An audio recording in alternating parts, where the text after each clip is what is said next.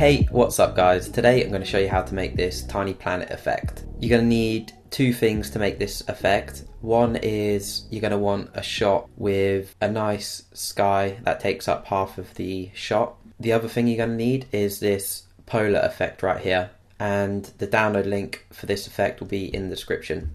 The first thing you want to do is scale this shot down a little bit. So I'm going to go to 70% and this is going to change depending on the type of shot. So, but 70% is like a good place to start.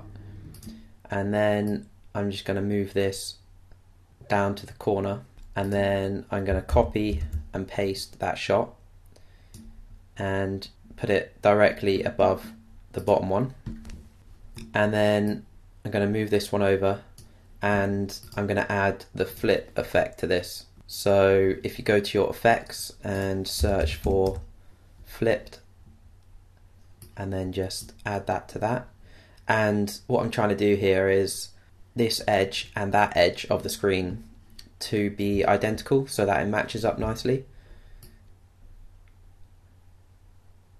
Okay, and now we're going to add a mask to this shot right here. So go to masks and I'm going to use a shape mask. And then I'm just going to make this nice and tall and bring that over and blend it in with the other shot. Just like that. Now what I want to do is fill in this black space up here. So all I'm going to do is copy and paste this shot again. I'm going to get rid of the mask.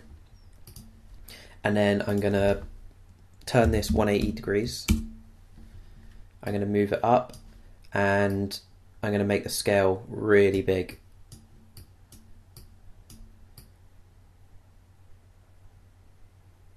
Just to fill in this gap. And I'm also going to add another mask on here. And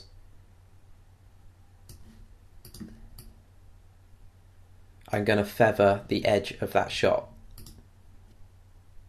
just like that and then I'm going to move it down so it blends into the bottom two shots.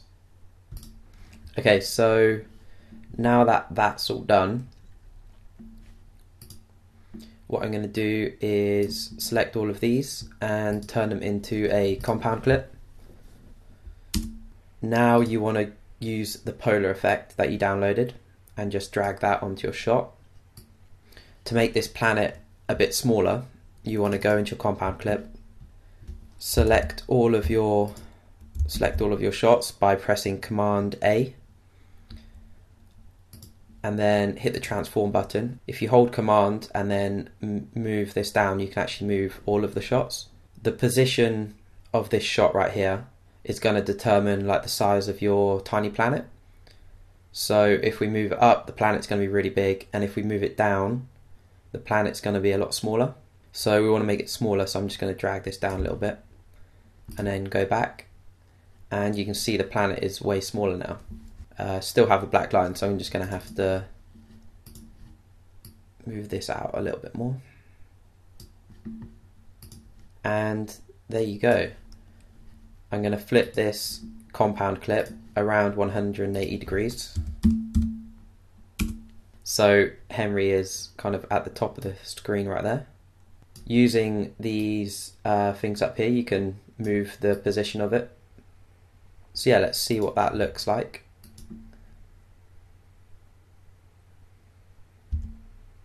So yeah, there you go, there's a tiny planet effect.